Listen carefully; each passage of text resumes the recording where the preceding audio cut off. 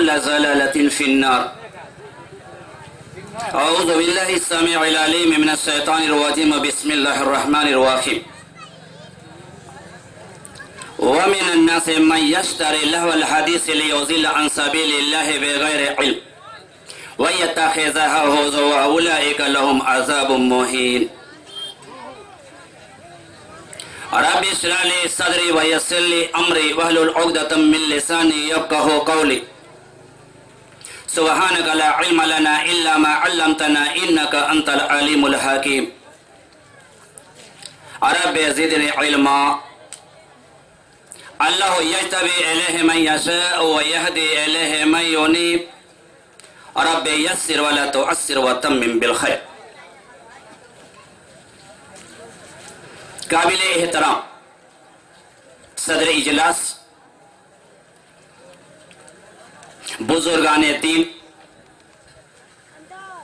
मुआजीन शहर। हज़रत किराम, नीस, दीनी व मिली भाइयों,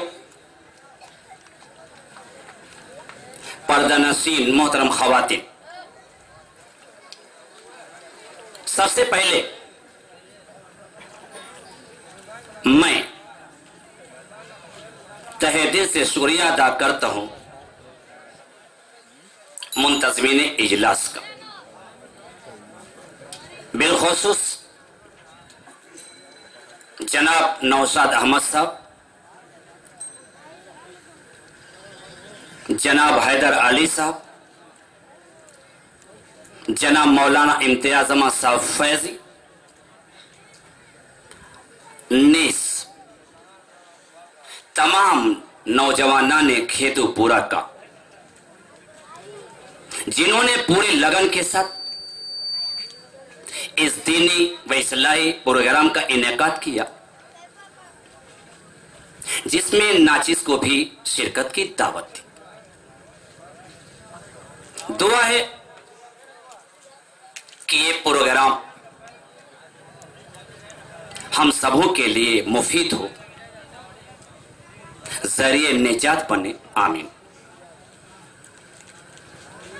हज़रत गिरामी बस बहुत सारे पहलुओं पर गुफ्तगु करनी थी, लेकिन वक्त की तंगी की वजह से किसी एक पहलू को इख्तियार किया गया। जो आयत करीमा आपके सामने पढ़ी गई है, ये सूर्य लुकमान की छठी आयत है। सबसे पहले आप इस आयत करीमा का सलीस उर्दू तर्जमा सुन लें, ताकि आगे आने वाली बातें बआसानी समझ में आ सके। तर्जमा क्या है? रब जुल जलाल वली करम इरशाद फरमाता है कि और लोगों में से कुछ लोग ऐसे हैं जो खरीदते हैं लवल हदीस को। ताकि उसके ज़रिए बगैर किसी इल्म के रहे रास्त से लोगों को हटा दे। और बना ले उसको मज़ाक। तो अल्लाह ताला ने शाद फरमाया कि यही वो लोग हैं जिनके लिए रुसवा कुन अजाब है। लवल हदीस, यानी ऐसी बात जो आदमी को अपने अंदर मशगूल करके हर दूसरी चीज़ से काफिल कर दे। इसका इतलाक, हर बुरी, फजूल और बेउदा बातों पर ही होता है। मसलन, गप, खुराफात, हँसी, मज़ाक, दास्ताने, अफसाने, नावल, गाना, बजाना, वगैरह वगैरह। और लव हदीस के खरीदने का मतलब यह भी लिया जा सकता है कि वो शख्स हदीस सही को छोड़कर, हदीस बातिल को इख्तियार करता है और राय रास्ता से हटकर उन बातों की तरफ़ रागिब होता है। कि जिनमें उसके लिए न दुनिया के अंदर भलाई है और न आखरत के अंदर। जब पैगंबर इस्लाम, जनाब मोहम्मद रसूलुल्लाह सल्लल्लाहु वसल्लम की दावत, कुफार मक्का की सारी कोशिशों के बावजूद फैलती जा रही थी। तो नज़र बिन हारिस ने कुरैश के लोगों से कहा कि जिस तरह तुम लोग मोहम्मद का मुकाबला कर रहे हो, इससे काम चलने वाला नहीं है। क्यों? इसे कि ये मोहम्मद हमारे दरमियान बचपन से अधेड़ उम्र को पहुँचा है। और आज तक यह हमारे दरमियान सबसे बेहतर इंसान था। सबसे ज़्यादा अखलाकमंद था। सबसे ज़्यादा सच्चा था। सबसे बढ़कर अमानतदार था। और आज तुम कहते हो कि ये शाहिर है, ये शायर है, ये काहिन है, ये मजनू है। आखिर तुम्हारी इन बातों को कौन तस्लीम करेगा? क्या लोग शायरों के शहरों को नहीं जानते? को किस किस्म का झाड़ फूक करते? क्या कायनों की कहानत को नहीं जानते? कि वो किस किस्म की बातें बनाया करते? क्या लोग शेर शायरी से नवाकिफ है? क्या लोगों को जुनून की कैफियत का इल्म नहीं? आखिर इन इल्ज़ाम में से कौन सा इल्ज़ाम तुम मोहम्मद पर चस्पा करोगे? फिर इसका इलाज मैं करता हूँ। मेरे पास इसका इलाज है। नज़र ने हारिस मक्का छोड़कर इराक की तरफ़ सफ़र करता है और इराक में पहुँचने के बाद बादशाहों को किस्सों को खरीद कर मक्का के अंदर लाता है और लाने के बाद किस्सा गोई की महफिल बर्पा करना शुरू कर देता है ताकि लोगों की तवज्जो कुरान से हटे और लोग किस्सों में मशगूल हो जाए। और एक दूसरी रिवायत के मुताबिक, नज़र बिन हारिस बहुत बड़ा ताजिर था और तिजारत की गरज से मुख्तलिफ़ मुल्कों का वो सफ़र किया करता था। इत्तेफाकन एक मरतबा वो मुल्क फारस गया और वहाँ से बादशाहों की कहानी को खरीद कर मक्का के अंदर लाया और लाने के बाद ऐलान करने लगा बबागे दहुल करने लगा, नेता देने लगा, पुकारने लगा कि, मोहम्मद, तुमको कुरान के वाकया सुनाता है, इधर आओ, मैं तुमको बादशाहों की कहानियाँ सुनाता हूँ। और एक तीसरी रिवायत के मुताबिक जैसा कि हज़रत अब्दुल्ला बिन अब्बास ने फरमाया कि करीमा जो लुकमान की छठी वह मिन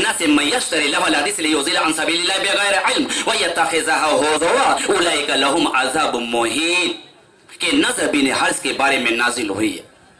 जिसने गाने वाली छोकरियों को खरीद रखा था।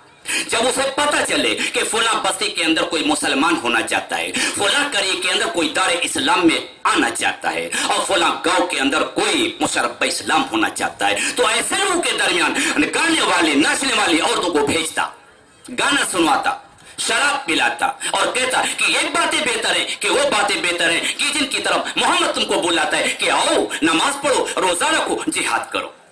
दर हकीकत, नौजवानों मेरे भाइयों, दर हकीकत आयत करीमा, हम लोगों के बारे में नाजिल हुई है कि और लोगों में से कुछ लोग हैं जो खरीदते हैं लवल हदीस को अपने घर में, अपनी दुकान में, अपने ऑफ़िस में, अपनी फैक्ट्री में, अपने बैठने की जगह में, हर जगह वो नाच गाने की चीज़ों को इस्तेमाल करते हैं। और लोगों में से बाज लोग ऐसे हैं जो दस्तयाब करते हैं, गाने बजाने की चीज़ों को, और यही नहीं कि सिर्फ़ वो राय रास्ता से हट जाए। बल्कि बगैर किसी जानकारी के, बगैर किसी इल्म लोगों को राय रास्ता से हटाना चाहते हैं। तो दर हकीकत यह करीमा, हम लोगों के बारे में नाजिल हुई। इस लिहाज से, शहर के अंदर ये पार्क और प्लाजे ये बुराइयों के अड्डे, और ये जो मोहल्लों में बनाए गए क्लब, ये हाथों में, लोगों के बैठकों में, किसी के कमरे में, कहीं और कहीं और। और जो हमारे घरों में लगे हुए टेलीविज़न सीआर लैपटॉप, या जो हमारे पॉकेट के अंदर, ये चाइनीज़ मोबाइल, या जिन मोबाइल के अंदर गंदी चीज़ें भरी हुई है। ये सब के सब मौजूदा फांसी के सबब हैं। क्यों? इसलिए कि ये मर्दों, औरतों और बच्चों के जज्बात को बरगेट तक कर बुराइयों की तरफ़ खींचते हैं, बुराइयों की तरफ़ ले जाते हैं। बहुत पहले मुर्शिद कामिल जनाब मोहम्मद रसूलुल्लाह सल्लल्लाहु अलैहि वसल्लम इरशाद फरमाया था याकुम वल गिना फइन्नु यजीदु शहवत व यतिमुल मरवा। कि देखो, गाने बजाने की चीज़ों से बच के रहना, और न गाने बजाने वाली चीज़ें क्या करेंगी? शहवत को बढ़ाती रहेंगी, और अहलाक को मलिया मिट करती रहेंगी। याकुम वल गिना फइन्नु यजीदु शहवत व यतिमुल मरवा। क्या अहलाक को, शराफत को, अच्छाई को तबाह बर्बाद करके गाने बजाने वाली चीज़ें रख देंगी। हज़रत अब्दुल्ला बिन मसूद से सवाल किया गया था कि अल्लाह तबारक ने जो करीमा के अंदर लवल हदीस का कलमा बयान किया है, इसे क्या मुराद है? हज़रत अब्दुल्ला अब्बास तआला और हज़रत अब्दुल्ला मसूद तआला ने कसम खाकर कहा था। होवा वल्लाह अलगेना। होवा वल्लाह अलगेना। होवा वल्लाह अलगेना। अल्लाह की कसम, इससे मुराद गाने बजाने की चीज़ें कसम खुदा की, इससे मुराद क्या है? ये टीवी और टेलीविज़न है, जिनकी वजह से हमारे बच्चे, हमारी नस्लें तबाह बर्बाद हो रही हैं। आज कहते कि ये टेंशन है, वो टेंशन है, ये बीमारी है, वो बीमारी है। कभी सुकून हासिल नहीं होता, कभी करार नहीं हासिल होता। ये सब बुराइयों का नतीजा है मेरे भाइयों। क्या हज़रत अब्दुल्ला ने कसम खाकर सर देकर कहा था कि इससे मुराद क्या है? गाने बजाने की चीज़ें अल्लाह की कसम, इससे मुराद क्या है? गाने बजाने की चीज़ें अलगिना निफाक फिल कल्ब। गाना सुनते सुनते हमारा दिल क्या हो जाता है? जंग आलूद हो जाता है। दिल क्या हो जाता है काला हो जाता है, उस पर गर्द बैठ जाती है। उस पर गंदगी आ जाती है और उसकी रोशनी सलब कर ली जाती है। दिल की रोशनी उसके उजालेपन को सलब कर लिया जाता है। अफसोस कि जिन बातों को मिटाने के लिए रह बरे कायनात जनाब मोहम्मद रसूलुल्लाह सल्लल्लाहु अलैहि वसल्लम दुनिया के अंदर तशरीफ़ लाए थे, आज हम उन्हीं बातों पर अमल कर अपने दिलों को खुश करते हैं। दिलों के अंदर उनकी बुराई का जरा सा भी एहसास नहीं करते। कि कितनी बड़ी नाइंसाफी है कितना बड़ा जल्म है कि मुश्फिक नबी पाक के फरमाने पाक को हम पामाल कर रहे हैं। आज हमारा ये हाल है, और एक वो जमाना था कि जब हमारे असला किसी रास्ते से गुजरते थे और गाने बजाने की आवाज़ का कुछ हिस्सा उनके कानों में आ जाता था तो अपने कानों में उंगलियाँ ठूस लेते थे। सुनने अभी दाऊद की रवायत है। हज़रत नाफी रहमुल्ला बयान करने वाले कि मैं एक मरतबा, हज़रत अब्दुल्ला बिन उमर रजील्लाह के साथ चल रहा था। बांसुरी की आवाज़ सुनी। अन्नाफीन, कल कुन तुम अपने उमर, फसमिया मिजमारन फवाजा फ़ी उजने इस्बाए कहते नाफी रहमुल्ला कि मैं एक बार अब्दुल्ला बिन उमर रजील्लाह के साथ एक रास्ते में चल रहा था। बांसुरी की आवाज़ सुनी। दनानी तरीके जानिब कि अब्दुल्ला बिन उमर तआला वहाँ से हटकर बड़ी दूर भागे। दना ये दोनों माने करीब होना। लेकिन जब दना का सिला अन आता दूर भागना तो दना आनी तरीक इला जानिब आखर, कि अब्दुल्ला बिन उमर अन्हु, गाने की आवाज़ सुनकर वहाँ से बहुत ही दूर भाग निकले। और भागने के बाद मुझको आवाज़ दी फे जहाँ गाने बजाने की आवाज़ आ रही थी, वहाँ से हम बहुत दूर भाग कर आ गए हैं। जरा ये तो बताओ कि क्या गाने बजाने की आवाज़ का कुछ हिस्सा यहाँ तक भी पहुँच रहा है? मैंने कहा कि नहीं। अब्दुल्ला बिन उमर ताला हम लोग वहाँ से बहुत दूर आ गए कि अभी यहाँ पर गाने बजाने की आवाज़ का कुछ भी हिस्सा नहीं पहुँच रहा है। अब्दुल्ला बिन उमर ताला उन्होंने अपनी दोनों उंगली को दोनों कानों से निकाल ले निकालने के बाद रिवायत पेश की। कहा कि नाफे सुनो। रिवायत सुनो सनद सुनो। मैं एक मरतबा रहबर कायनात, जनाब मोहम्मद रसूलुल्लाह सल्लल्लाहु अलैहि वसल्लम के साथ चल रहा था।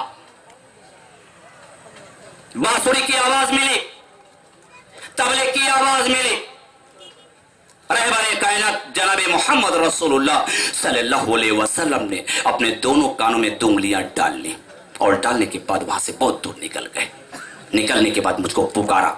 अब्दुल्ला बिन उमर तआला हम तो वहाँ से बहुत दूर आ गए क्या यहाँ भी गाने बजाने की आवाज़ पहुँच रही? है मैंने कहा कि नहीं। तो नाफिस सुनो। मैंने उसी तरह किया है, जिस तरह रहबरे कायनात जनाब मोहम्मद रसूलुल्लाह सल्लल्लाहु अलैहि वसल्लम ने किया था। लेकिन आज कोई ऐसा घर नहीं जिसमें गाने बजाने की चीज़ें न हो। घर तो छोड़ो। जितने कमरे हर कमरे में भी गाने बजाने की चीज़ें मुहैया हैं। हज़रत अबू मालिक अशरी रज़ियल्लाहु होता बयान करते उन्होंने कहा कि अल्लाह के नबी, जनाब मोहम्मद रसूलुल्लाह सल्लल्लाहु सुने अबी दाऊद की रवायत है और सुने इब्ने माजा के अंदर भी ये रवायत देखी जा सकती है। कि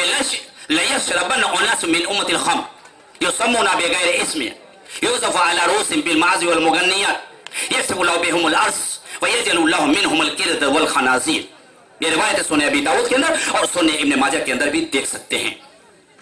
क्या सल्लल्लाहु अलैहि वसल्लम ने कहा? कि ज़रूर भी ज़रूर मेरी उम्मत में से कुछ लोग शराब पिएँगे पेशिन गोई है। आज तो हमारे नौजवान की अक्सर तादाद इसमें मुलविस है कि मेरी उम्मत में से कुछ लोग ज़रूर भी शराब पिएँगे, उसका नाम बदल कर सेन रा, अलिफ, बा। ये नहीं रहेगा। नाम बदल देंगे, जबान बदल जाएगी लफ्ज बदल दिया जाए, चीज़ वही रहेगी, इससे नशा आएगा। मेरे उम्मत में से कुछ लोग लाम ताकिद बानून ताकिद सकिला दर फिल मुस्तकबल मारो। कि ज़रूर भी ज़रूर। मेरी उम्मत में से कुछ लोग शराब पीएँगे, उसका नाम बदल कर और क्या होगा? उनके सरों पर बाजे बजाए जाएँगे। और गाने वाली औरतें गाना गाएँगी। ऐसी कौम का अंजाम क्या होगा? नतीजा क्या होगा? एक क्या होगा? अल्लाह की गिरत कैसी आएगी? सजा कैसी होगी? किर वल खनाजीर। कि दोस्त ऐसे लोगों को ज़मीन में धंसा देगा, ज़मीन फाड़ देगा, बिल्डिंगों को गिरा देगा। लो, लाशों को तलाश करो। निकालो, बोटियाँ मिल रही हड्डियाँ मिल रही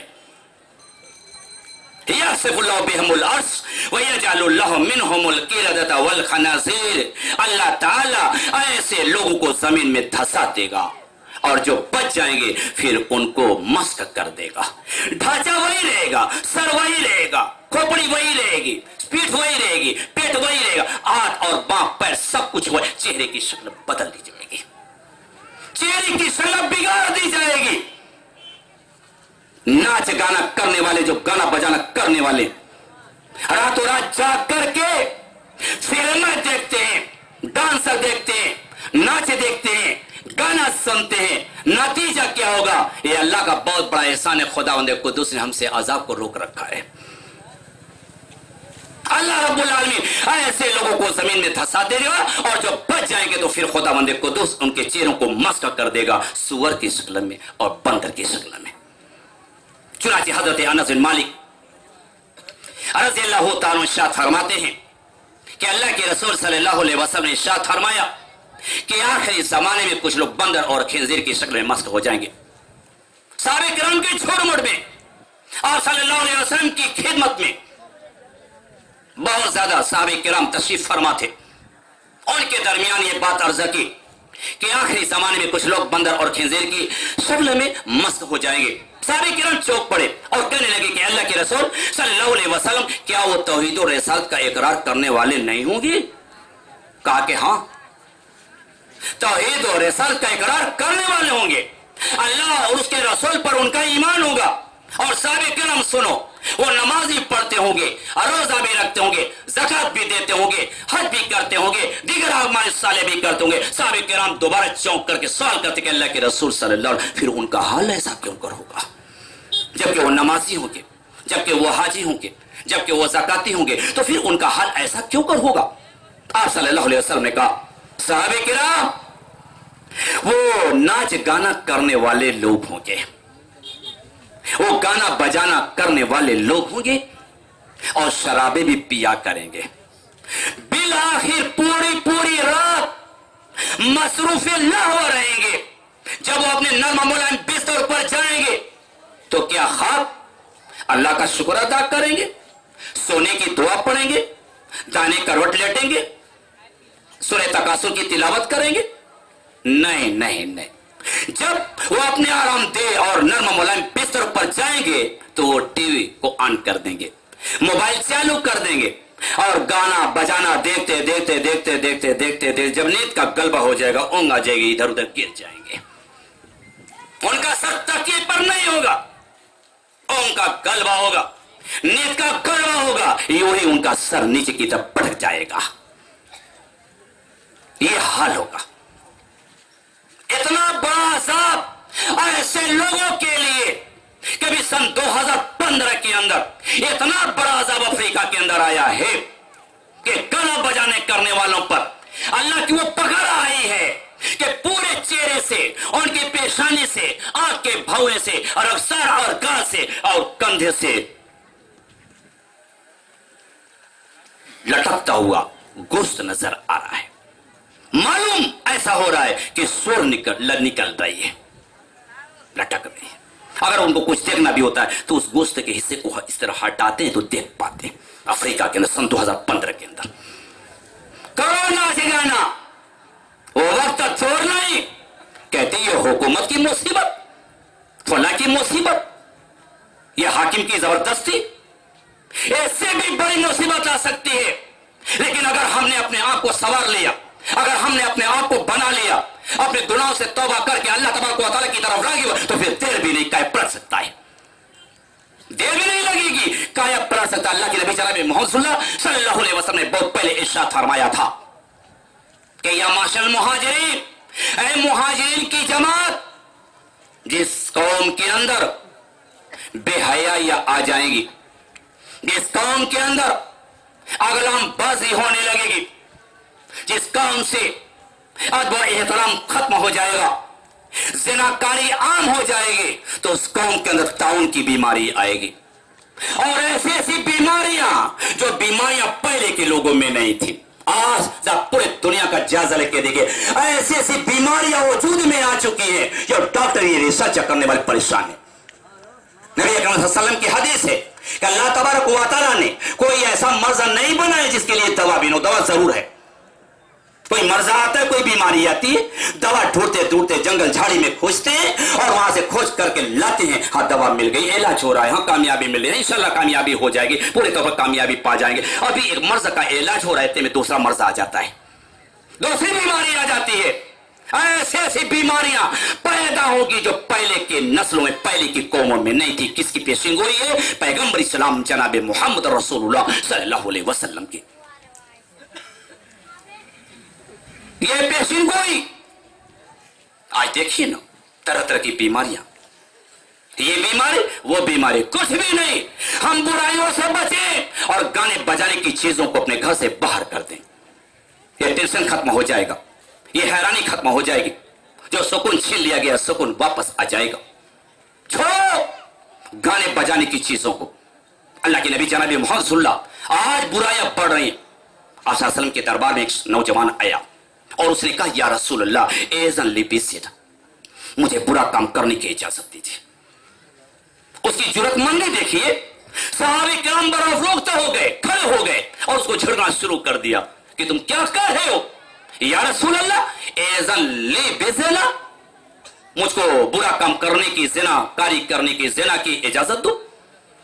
किसे तुम बात करो लेकिन अल्लाह की नबी जनाबी मोहम्मद रसूल्ला ने साहब करम को रोका, रुको, रुक जाओ। उसने कहा तुम करीब आ जाओ। जब करीब आ गया, क्या कह रहे हो? अच्छा ये बताओ कि जिस काम की तुम मुझसे इजाज़त तलब कर रहे हो, क्या तुम उस काम को तुम अपनी माँ के लिए पसंद करोगे? तो ही बोले, उम्मे को। जिस काम की तुम मुझसे इजाज़त मांग रहे हो, क्या तुम उस काम को अपनी माँ के लिए पसंद करोगे? कहा कि नहीं हर नहीं। मैं आपकी जाते अकदस मुकदस पर कुर्बान जाऊँ। अल्लाह के नबी जनाब मोहम्मद रसुल्ला सल्लल्लाहु अलैहि वसल्लम ने कहा, उसी तरह दूसरे लोग भी उस काम को अपनी माँ के लिए पसंद नहीं करते। अच्छा ये बताओ कि जिस काम की तुम उसे इजाज़त तलब कर रहे हो, क्या तुम उस काम को अपनी बेटे के लिए पसंद करोगे? तो ही बोले बिनते का। क्या तुम उस काम को अपनी बच्ची के लिए पसंद करोगे? कहा कि नहीं, हर किसने। अल्लाह के रसूल सल्लल्लाहु अलैहि वसल्लम, मैं आपकी जात पर कुर्बान हो जाऊँ। और सासर ने कहा कि उसी तरह दूसरे लोग भी उस काम को अपनी बच्ची के लिए पसंद नहीं करेंगे। अच्छा ये बताओ कि जिस काम की तुम मुझसे इजाज़त मांग रहे हो, क्या तुम उस काम को अपनी बहन के लिए पसंद करोगे? तो ही बोले क्या तुम उस काम को अपनी बहन के लिए पसंद करोगे? कहा कि हर किसने अल्लाह के रसूल कहा उसी तरह दूसरे लोग भी उस काम को अपनी बहन के लिए पसंद नहीं करते। फिर अल्लाह के रसूल सल्लल्लाहु ने दरियाफ्त किया, इस्तिफसार किया। अच्छा ये बताओ कि जिस काम की तुम मुझसे इजाज़त मांग रहे हो, क्या तुम उस काम को अपने अब्बा की बहन के लिए, यानी अपनी फूफी के लिए पसंद करोगे? तो ही बोले, अम्मते को। क्या तुम उस काम को अपनी फूफी के लिए पसंद करोगे? कहा कि नहीं, अल्लाह के रसूल हर किसने कहा उसी तरह दूसरे लोग उस काम को अपनी फूफी के लिए पसंद नहीं करते। फिर अल्लाह के रसूल ने इस्तिफसार किया सवाल किया। अच्छा ये बताओ, जिस काम की तुम मुझसे इजाज़त मांग रहे हो, क्या तुम उस काम को अपनी अम्मा की बहन के लिए, यानी अपनी खाला के लिए तो ले खाले तक क्या तुम उस काम को अपनी खाला के लिए पसंद करोगे? कहा कि नहीं, हर किसने अल्लाह के रसूल मैं आपकी जात पर कुर्बान जाऊँ। कहा उसी तरह दूसरे लोग भी उस काम को अपनी खाला के लिए पसंद नहीं करते। देखिए, अल्लाह के रसूल सल्लल्लाहु अलैहि वसल्लम ने किस अंदाज से इस फिल की कबात को आश्कारा करके रख दिया, बेनकाब करके रख दिया उसके बाद अल्लाह के रसूल सल्लल्लाहु अलैहि वसल्लम ने उसके सर पर हाथ रखा, दस्ते मुबारक रखा और दुआ फरमाई कि अल्लाह फिर जम्बो व तहिर कल्बो व हसीन फर्जो। अल्लाह, उसके गुनाहों को तू बस फरमा दे। अल्लाह तबारक तो उसके दिल को पाक कर दे और उसको बदकारी से बचा। तारीख के और शाहिद है। तारीख के और की सतरें बोल रहे हैं कि जब नबी करीम सल्लल्लाहु अलैहि वसल्लम ने उसको ये दुआ दी तो फिर उसके बाद उसके दिलो दिमाग के अंदर कभी इस तरह का वसवसा भी नहीं आया। और सही है अल्लाह के रसूल सल्लल्लाहु अलैहि वसल्लम दुनिया के अंदर इसीलिए भेजी भी गए थे। लकद मन अल्लाह रसूल मिन अनफुसिहिम यतलू अलैहिम व युअल्लिमुहुल किताब वल हिकमा व इन कानू मिन क़ब्लु लफी मुबीन। सूरह आल इमरान आयत नंबर 164 कि नबी सल्लल्लाहु अलैहि वसल्लम दुनिया के अंदर इसलिए भेजे भी गए थे कि लोगों को तरह तरह की आलूदगी से पाक करें। तो मुआशरा हमारा समाज ये कहा जा रहा है। अल्लाह के रसूल सल्लल्लाहु अलैहि वसल्लम। मेराज की रात जिब्रील अमीन के साथ चल रहे थे। देखा कि आगे एक कढ़ाई है और उसमें बेहतरीन गोश्त तैयार करके रखा गया है। और कुछ दूरी पे एक दूसरी कढ़ाई है जो बिल्कुल बदसूरत है और उसमें सड़ा हुआ गोश्त रखा गया है। अल्लाह के रसूल सल्लल्लाहु अलैहि वसल्लम ने अजीब गरीब मंजर देखा कि कुछ मर्द, कुछ औरतें करीब की कढ़ाई को छोड़ करके जो दूर की पतीले और कढ़ाई है उससे लपक करके खा रहे सवाल किया कि जिबरील अमीन जरा आप ये बताएँ कि आखिर इनका क्या गुना है? जिबरील अमीन ने कहा कि रसूल अमीन ये अच्छे गोश्त से रोक दिए गए हैं और खराब गोश्त इनके लिए जायज़ कर दिया गया है। क्यों? ये वो मर्द है जो दुनिया के अंदर अपनी औरतों को छोड़ करके गैर औरतों के पास जाया करते थे। और ये औरतें हैं जो अपने शोर को छोड़ करके गैर मर्दों के पास जाया करती थी। इसलिए आज इनके लिए बेहतरीन गोश्त इनके लिए मना कर दिया गया। इनके लिए ये खाए, नहीं खा सकते, ये रोक दिए गए। आगे बढ़ते हैं। देखते हैं अल्लाह के रसूल सल्लल्लाहु अलैहि वसल्लम के एक कुआँ नज़र आ रहा है। और वो कुआँ कैसे तन्नूर के मानी है उसका पेट कुशाद है और मुँह छोटा है। उसमें मर्द औरतों की चीखने चिल्लाने की आवाज़ आ रही रसूल अकरम सल्लल्लाहु अलैहि वसल्लम जिब्रील आमीन से इजाज़त चाहते हैं कि जिब्रील आमीन अगर आप इजाज़त दें तो जरा उसमें झाँक करके देखो तो हो सकता कुछ जान पहचान के लोग मिल जाए। इसलिए कि मर्दों, औरतों के चीखने चिल्लाने की आवाज़ मिले जरा करीब हो जाऊँ और जरा उसमें झाँक करके देखो, हो सकता है कि वो जान पहचान के लोग हो। कहते अल्लाह के रसूल सल्लल्लाहु अलैहि वसल्लम कि जो मैं करीब गया और करीब जो गया और झांकना चाहे इतने से, इतने में, उसमें से शोला खेज आग ऊपर को आती है। और उस शोले के अंदर मर्द औरतें जलती हुए नज़र आ रहे हैं। और ऐसा ख्याल लगता है कि जब ये शोला नीचे को दबेगा तो जो शोले के अंदर मर्द औरतें जलते हुए ऊपर को आए हैं, मर्द औरतें ये बाहर ही रह जाएँगे और शोला नीचे को दब जाएगा। लेकिन कहते अजीब गरीब मंजर था कि जब वो शोला नीचे को छोटे सुराग के ज़रिए दबाए तो मर्दों औरतों को समेटते हुए लेकर के उस सुराग के ज़रिए नीचे चला गया। मैंने कहा, जी अमीन कौन लोग? कहा कि हाउलाई ये बदकार लोग हैं। दुनिया के अंदर समाज और मुआशरे को ये गंदा करने वाले लोग हैं। नबी वसल्लम ने बहुत पहले साथ फरमाया था कि दो किस्म के लोग हैं जो दो सकी हैं। जहनम की आग में चलने वाले, जिनको मैंने नहीं देखा। जिनको मैंने नहीं देखा, कब वो आए दुनिया के अंदर जब मैं दुनिया से चला जाऊँगा? मैं दुनिया से जाने के बाद वो दुनिया के अंदर आएँगे, पैदा होंगे। एक वो जिसके हाथ में डंडा होगा, जिसके पास ताकत होगी, लोगों पर जुल्म कर रहा होगा। और दूसरे वो औरतें जो बाज़ार कपड़ा पहने होंगी, लेकिन हकीकत में नंगी होंगी। ऐसा उनका सियातुन आरियातुन मोमिलातुन महिला सही मुस्लिम की रवायत। कि बाज़ार कपड़ा पहने होंगी, लेकिन हकीकत में नंगी होंगी। ऐसा कपड़ा होगा, ऐसा जंपल होगा, ऐसा फेरा ऐसा सब कुछ होगा। निकाब भी ऐसा ही तंग और बारीक होगा कि पूरे पूरे आजा क्या नज़र आ रहे होंगे। पहने के बावजूद भी। हज़रत अली, बस बात वो खत्म कर रहे हज़रत अली रसी अल्लाह आलानो हज़रत फातमा रज़ी अल्लाह आलानो को साथ लेकर के रसूल अकरम की खिदमत में आए।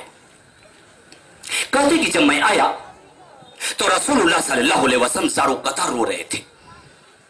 जारो कतार भो भो रो रहे थे।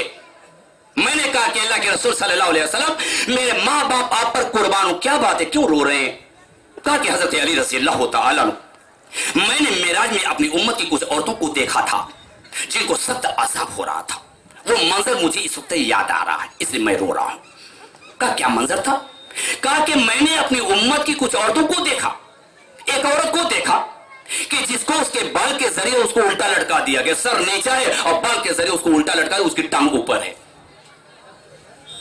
और उसके बालों के ज़रिए उसको उल्टा लटका दिया गया है। और दूसरी औरत को मैंने देखा, हज़रत अली रज़ी अल्लाह कि जिसकी जबान लंबी कर दी गई है, कई मीटर की कर दी गई है, और फिर उस जबान के ज़रिए उसको उल्टा लटका दिया गया और उसके मुँह के अंदर गर्म पानी उडेरा जा रहा है। गर्म पानी, मुँह भरा जा रहा है। और एक तीसरी औरत को मैंने देखा, कि जिसके सीने के हिस्से को दराज कर दिया गया, जिसके सीने के हिस्से को बढ़ा दिया गया, और फिर उसके ज़रिए उसको उल्टा लटका दिया गया। जब अल्लाह के रसूल वसल्लम ने यह बात अर्ज़ की, हज़रत फातिमा रज़ी अल्लाह आना खड़ी हो गई। खड़ी होने के बाद कहती है, अब्बा, आप बताइए कि उन औरतों का क्या गुनाह था? कहा कि मेरी बेटी सुनो, गौर से सुनो, कि जिस औरत को उसके बालों के ज़रिए उसको उल्टा लटका दिया गया था, वो औरत थी जिसके सर पर दुपट्टा नहीं रहता था, उसका सर खुला रहता था। कोई परवाह नहीं, कोई ख्याल नहीं, कोई ध्यान नहीं। कौन आ रहा है, कौन जा रहा है, सर खुला हुआ है, बालों का लोग मुसादा कर रहे हैं। बाल खुला हुआ, दुपट्टा कहीं और। और जो दूसरी औरत कि जिसकी जबान दराज कर दी गई थी, वो औरत अपने शोहर से मुँह लगती थी। जब शोहर कुछ कहता, भड़क जाती। हर वक्त लड़ती रहती थी अपने शोहर जबान दराजी आज उसकी जबान को लंब, उसकी जबान लंबी कर दी गई और उसके ज़रिए उसको उल्टा लटका दिया गया और वो औरत, जिसके सीने के हिस्से को बढ़ा दिया गया और उसके ज़रिए उसको उल्टा लटका दिया गया। दुनिया के अंदर ऐसा लिबास पहनती थी, उसको कोई गर्व, उसको कोई शर्म नहीं ऐसा लिबास जिसे पूरे आज़ाद ज़ाहिर होते थे। आज जब समाज और मुआशरे पर हम नज़र डालते हैं तो ये सारी बुराइयाँ नज़र आ रहा है। जब हम नौजवानों, हमें मिसाइल नौजवान बनने की ज़रूरत है। कितने ऐसे नौजवान थे, जिन्हें अल्लाह ताला ने आला सलाहितों से नवाजा था। और जब समाज के अंदर आला सलाहितों लेकर के वो उतरे तो एक अहम किरदार पेश किया। तो आज भी ज़रूरत है नौजवानों, कि उठ खड़े हो, माहौल को संवारें, माहौल को सुधारें, बुराइयों को कलदम करें। समाज की बुराई को खत्म करने की कोशिश करें। वक्त दूर नहीं। जब माहौल साजगार हो जाएगा तो बड़ी बड़ी हुकूमतें क्या ज़मीन फट कर नीचे चली जाएगी। कौन जालिम आएगा? हमारे कानून पर पाबंदी लगाएगा। हमारे इस्लाम को कमज़ोर दिखाना चाहेगा। नहीं, सबसे मज़बूत क्या इस्लाम है? अगर हम इस्लाम के पैरोकार बन जाए, वो वक्त दूर नहीं। ये सारी हुकूमतें हमारे पैरों तले आ जाएँगी। तो वक्त इजाज़त नहीं दे रहे अभी बातें रही, फिर कभी मौका रहेगा तो इंशाल्लाह मजीद बात हम आपके सामने रखने की कोशिश करेंगे। आखिर में दुआ करते कि खुदा मंदिर को दोस्त हमारे माहौल को साजगार बना। अल्लाह तबारक ये प्रोग्राम करने वाली है हमारे नौजवान भाई। खुदा मंदिर को दोस्त इनकी मेहनत को तू कबूल फरमा ले। और ये सारे सामीन जो अपने वक्त को यहाँ पर लगा रहे दीनी बात सुनने के लिए आले अल्लाह तबारक इसके बदले में इनके सारे कामों को तू सवार दे। अल्लाह रबुल आलमीन, इनको अपने मकासद में कामयाबी अता फरमा। खुदा बंदे को दोस्त अल्लाह रब्बुल आलमीन, हम सारे मुसलमानों को गुनाहों से बचा और हमने साले की तौफीक इनायत फरमा। आमीन। व आखिर दावाना अनिल हम्दुलिल्लाह रब्बिल आलमीन। अस्सलाम वालेकुम